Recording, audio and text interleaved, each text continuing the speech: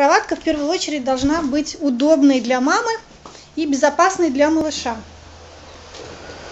Вот такая у нас кроватка.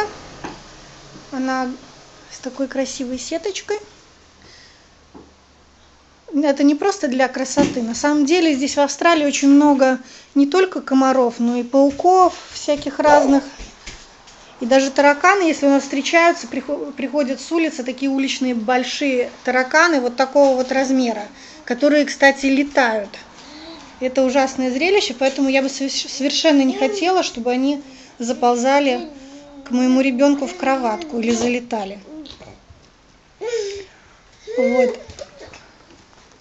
В чем она должна быть удобная для мамы, так это главное, чтобы она не была слишком низкой, потому что нагибаться к ребенку и поднимать тяжелого малыша.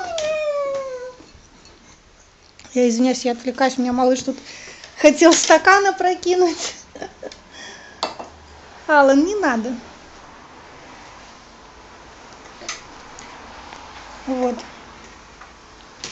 Потому что когда нагибаешься и вместе с малышом нагибаешься, чтобы положить его в кроватку, то очень бывает неудобно, особенно если ты встаешь по пять раз за ночь, и невыспанная, заспанная несешь ребенка в кроватку, ну это просто не очень-то удобно.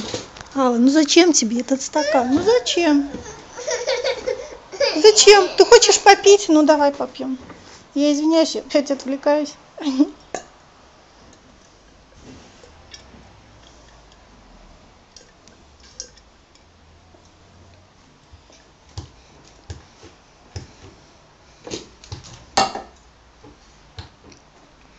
И то, что некоторые используют в качестве кроватки манежики, ну, может быть, это удобно в том плане, что не надо его складывать и убирать, а как кроватку оставляешь, и просто ребенок в ней продолжает спать. С одной стороны, может, это удобно, но то, что они довольно низкие, я не знаю.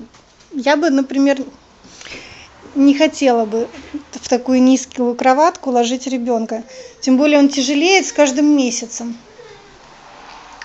Что касается подушек, специальные подушки как бы я использую очень тонкие, такие, которые специально для малыша.